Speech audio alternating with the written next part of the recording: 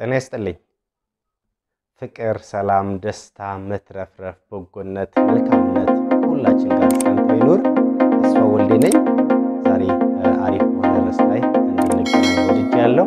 ሁላችሁም በዚህ ቆይታ ጥሩ ነገር እንደምትማሩበት አምናለሁ። በህይወታችን ላይ የተሻሉ ውጤቶችን የምናመጣበትና መልካም ፍሬዎችን የምናፈራበት በየጊዜው አዳዲስ ነገሮችን share እያረኳችሁ የማውቀውን እያሳወቅኳችሁ እናንተም ደግሞ እየተማራችሁ በህይወታችሁ ላይ የሆነ ነገር እየጨመራችሁ የሆነ ዋጋ እየጨመራችሁ ወደ ስኬት ማማ አብረን በጋራ እንድንቀጥል መልካም ፍላጎቴም ምኞቴም ሀሳቤም እምነቴም ነውና ስለዚህ ዛሬም እጅግ በጣም ወሳኝ የሆነ አሪፍ ነገር share አረጋችኋለሁ።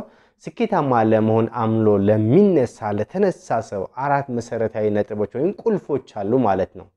አራት መሰረታዊ ቁልፎች አሉ። አንድ ሰው ስኬታማ ለመሆን ወይም ያሰበውን ቦታ ለመድረስ ያቀደውን ነገር ለማሳካት መሄድ ለሚፈልገው ቦታ በፍጥነት ያሰበውን ነገር ከግቡ እንዲያደርስ የሚያደርገው ወሳኝ ነጥቦችን አብረን በጋራ እናያለን።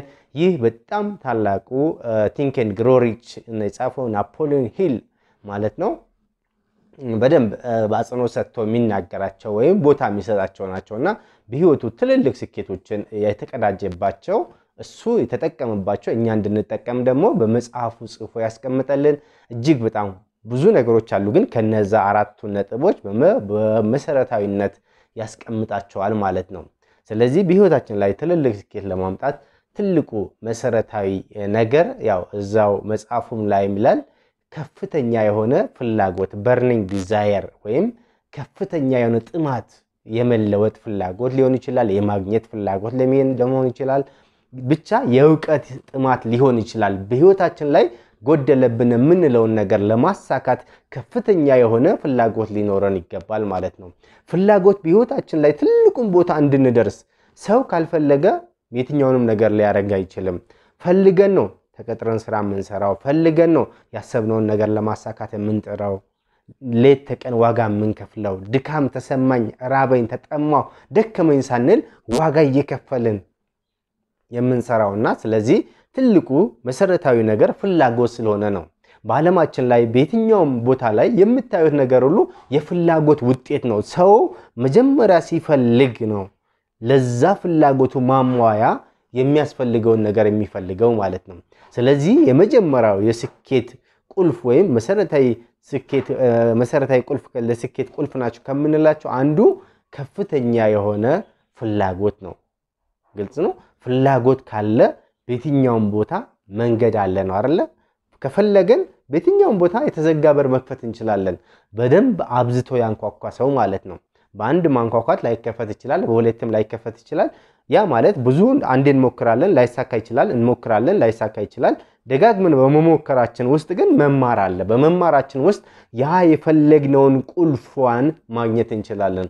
ቁልፏን ካገኘን ደግሞ በዛ ቁልፍ ከፍተን ገብተን የተለያዩ እውቀቶችን በመሸመት የተለያዩ ችሎታዎችን በማዳበር የሚገራርሙ ትልልቅ ስኬቶችን መቀዳጀት እንችላለን። ሁሉም ሰው ይፈልጋል። በነገራችን ላይ ይህን ትፈልጋለህ ብንባል ሁሉም ሰው አዎ እፈልጋለሁ ነው የምንለው። ግን ፍላጎት ይለያል ማለት ነው። ከአንጀትና ከአንገት ከአንገት ሲሆን ብዙም አንጥርለትም፣ ብዙም አንለፋለትም፣ አንደክምለትም፣ ቦታ አንሰጠውም።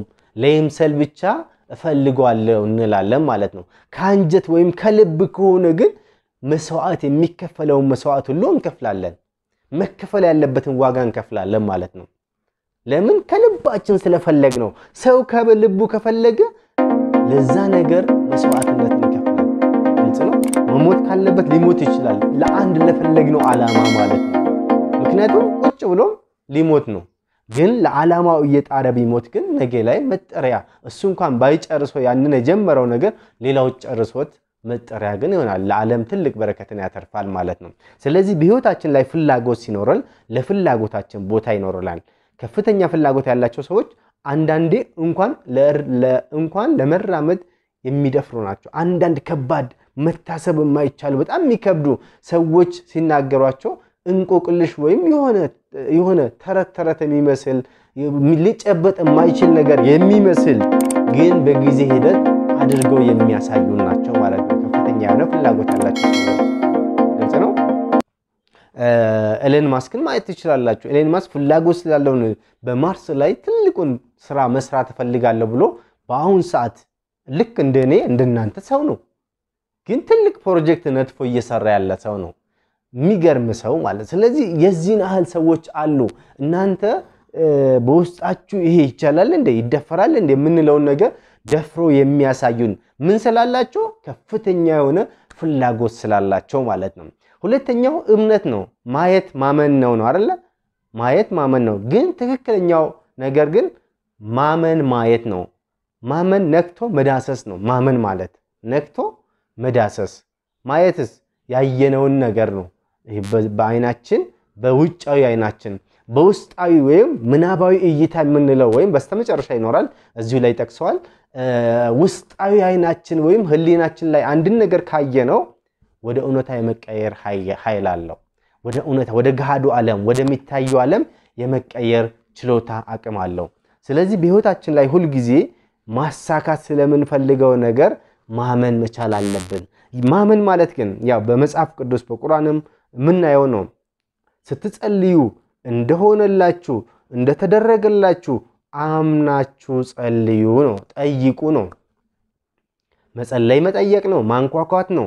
የምንፈልገው ነገር እንደሆነልን በእጃችን እንዳለ ስጠኝ፣ ይሄን አድርግልኝ፣ ይሄን እንዲህ ምናምን ስለተደረገልኝ፣ ይህን ስለተደረገልኝ ስሜቱ ሊኖር ይገባል። በነገራችን ላይ እምነት የስኬት ቁልፍ ስለሆነ ካላመነ ሰው 24 ሰዓት ሊለፋ ይችላል፣ አመታቶችን ሊያስቆጥር ይችላል። አንዲት ነገር ግን በእጁ ሊያስገባ አይችልም። ትልቁ የስኬት ቁልፍ ማመን ነው። ማመን ማለት ያላየነውን ያልጨበጥነውን ነገር በእጃችን እንዳለ አድርገን ማመን ያስፈልገናል። ያ ሲሆን ነገሮች ራሱ የተፈጥሮ ሕግ ምን ይላል? ተመሳሳይ ነገሮች ይሳሳባሉ ነው የሚለው አይደል?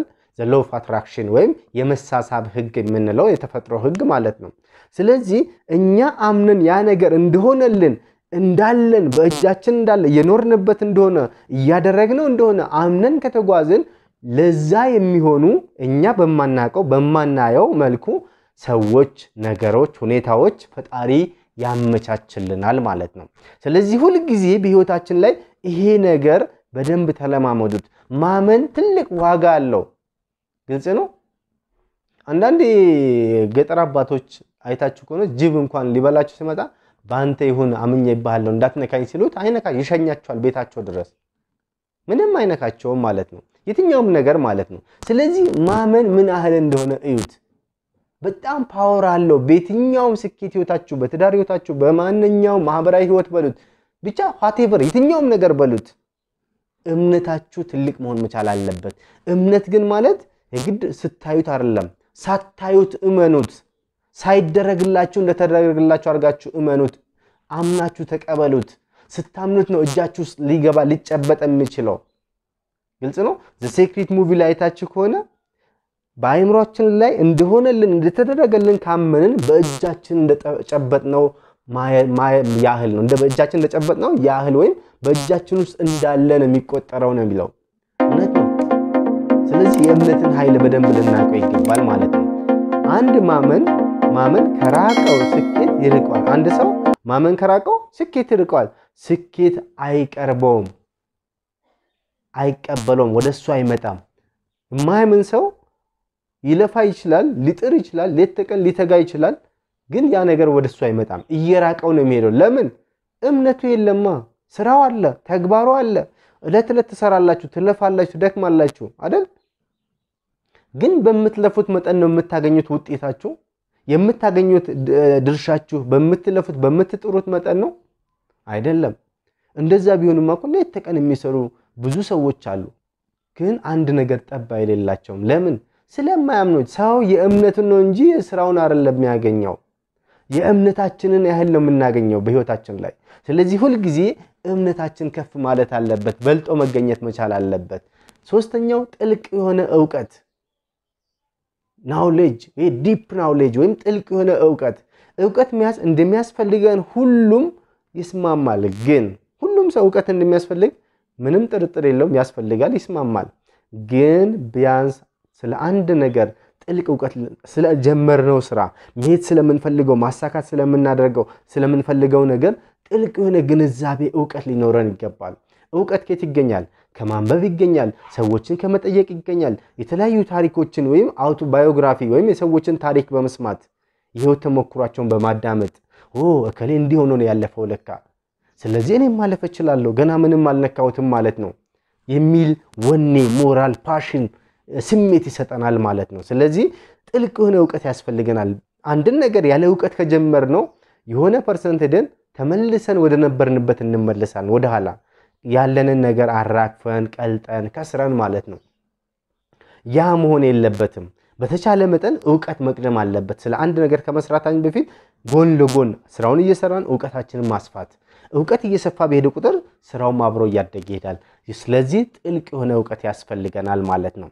ስለዚህ ጥልቅ የሆነ እውቀት ለስኬታችን መሰረት ስለሆነ አንዳንዴ ከሁሉም ነገር ለወሬ የሚሆን እውቀት አንያዝ። ይሄ ሁሉም ቦታ አለሁ አለሁ የሚል አይነት ጥራዝ ነጠቅ የሚባል ነው። እንደውም በጣም የምወደው አይነት አባባል አለና ማን ነው ዶክተር ሮዳስ መጋቢ ዶክተር ሮዳስ ምን ይላል? ያልሞላ ጋን ይንቦጫቦጫል ነው የሚለው። ቡጭ ቡጭ ይላል። አንድ ጋን ወይም ጀሪካን በሉት የትኛውም ነገር ውሃ ብትጨምሩበት የሆነ ፈሳሽ ነገር ቢኖረው ካልሞላ እምቡጭ እምቡጭ እያለ በጣም ያስቸግራል ማለት ነው። በቂ እውቀት ከሌለንም ሁሉንም ነገር አውቃለሁ የሚል ዝንባሌ በውስጣችን ያድራል። የሚያውቁ ሰዎች ግን እንደማያውቁ ሆኖ ሁሌ ለመማር ዝግጁ ናቸው። ራሳቸውን ዝቅ አድርገው ከሰዎች መረጃ ለመውሰድ እውቀትን ለመሸመት ሁሌም ዝግጁ ናቸው። ሁሌም ራሳችሁን ጠይቁ። በምን አይነት ቦታ ላይ ያላችሁት? እውቀታችሁን በደንብ ለመያዝ የበለጠ እውቀት መጨመር መቻል አለባቸው። እንደ ባዶ ብርጭቆ መሆን እንደ ጋን መሆን ያለባቸው። ስለዚህ ሁልጊዜ ለማወቅ ለመማር የሚዘጋጅ ሰው እውቀቱን እየጨመረ የተለያዩ ማህበራዊ፣ መንፈሳዊም በሁሉ ህይወት ዘርፎች የተሻለ ማንነትን መገንባት የሚችልበትን መንገድ ይፈጥራልና ማለት ነው።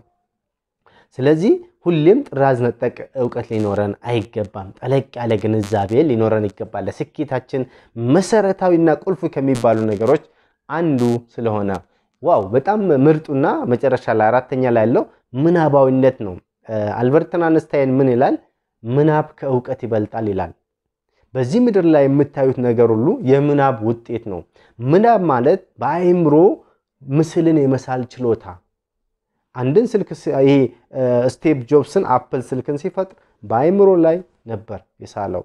ኮምፒውተር ባሉት ቤት everything ሁሉ ነገር ማለት ነው የተፈጠረው በምንድን ነው? በምናብ ነው። አንድ ሰው በአእምሮ ውስጥ ይስለዋል። ያንን ነገር እንዴት አድርጌ ላምጣ ወደ መሬት ላውርደው ብሎ ከራሱ ጋር discuss ያደርጋል። ሁሌም ያ ነገር practice ያደርገዋል። ይህ visualization visualization ስለ ጥቂት ስለተወሰነ ነገር፣ ምናብ ግን ያልተፈጠረ ያልተነካ ያልታየ ነገር መፍጠር የሚችል ማንነት ማለት ነው። ምናብ ማለት እስከዛሬ በምድር ላይ የሌለ አዲስ ግን መፍጠር ይቻላል ምናባችንን በመጠቀም ግልጽ ነው። imagination የምንለው ማለት ነው። visualization ግን የሆነ ግብ ካለን ያንን ግብ እንደሆነልን አድርገን እዛ በተወሰነ ነገር ላይ ጊዜ ሰጥተን visualize የምናደርገው ነገር ነው። imagination ግን በዚህ ምድር ላይ የሌለ ሰዎች ያልደረሱበት፣ ያልነኩት፣ ያላዩት፣ ያልሰሙት ነገር መፍጠር የምትችሉበትን ትልቁ ችሎታ በዓለም ላይ አለ የሚባል ነገር መፍጠር የምትችሉበት ዓለምን ማስደመም የምትችሉት ሰዎች የሚችሉትም እያደረጉትም ያሉት በምናባቸው ነው።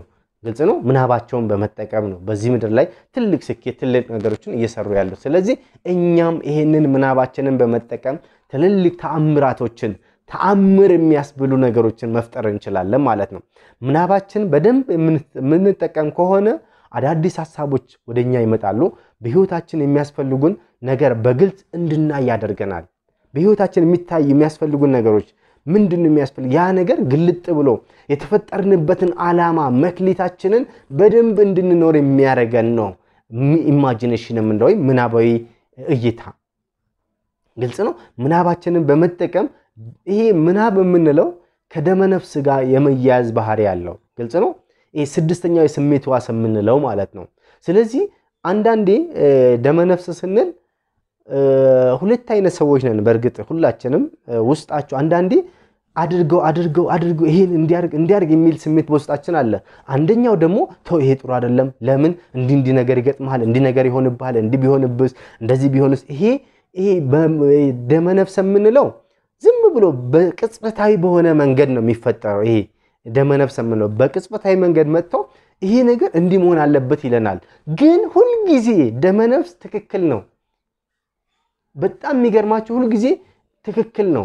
intuition የሚባለው ማለት ነው። ይሄ ደመነፍሳችን ሁልጊዜ ትክክል ነው። ይሄ ንቁ የሆነው በምክንያት የተሞላው ይሄ በማስረጃ የተሞላው አእምሯችን ደግሞ ይሄ እንዲህ ብትሆን ይሄ ነገር ይገጥመሃል፣ እንዲህ ቢሆንብህስ፣ እንዲህ ነገር ቢገጥምህስ፣ እንዲህ ብታጣውስ እያለ ሰበባ ሰበቦችን ወይም አመክንዮአዊ ሎጂክን ምክንያታዊ ነገሮችን በማምጣት ያ ደመነፍሳችን የፈጠረውን ነገር እንዳናከናውነው ያደርግብናል ማለት ነው። ይሄ ምናባዊ እይታችንን ወይም ውስጣዊ ደመነፍሳችን ስድስተኛው የስሜት ወሳችን በመጠቀም ግን በዓለም ላይ ያልታየ፣ ያልተሰማ፣ ያልተደረገ፣ ያልተጨበጠ ነገር መፍጠር እንችላለን ማለት ነው። ስለዚህ ሁልጊዜ ውስጣችሁን አድምጡት። አንዳንዴ ውስጥህን አድምጠው፣ ውስጥህ የሚልህን ስማው፣ ውስጥህ የሚልህን አድርግ ይላሉ አንዳንድ አባቶች ስታማክሩ ሄዳችሁ ገጥሟችሁ ከሆነ ውስጥህ የሚልህን አድርገው ልጄ፣ ስህተት ይሁን ትክክል ውስጥህ ያመነበትና የሚልህን አድርገው ይሏችኋል። ስለዚህ ውስጣችን ትልቅ መልስ አለው፣ ትልቅ ኃይል አለው፣ ትልቅ energy አለው ማለት ነው። ስለዚህ ሁልጊዜ በህይወታችን ላይ ያለውን ኢማጂኔሽናችንን በመጠቀም ትልቅ power፣ ትልቅ ኃይል መፍጠር እንችላለን። የነበረን ድንቅ ቆይታ እጅግ አድርጌ አመሰግናለሁ። ፍቅር፣ ሰላም፣ ደስታ፣ መትረፍረፍ፣ በጎነት ቅንነት፣ አርቆ ሀሳቢነት፣ ማስተዋል፣ ጥበብ በሁላችን ላይ አድሮ ይኑር። አመሰግናለሁ።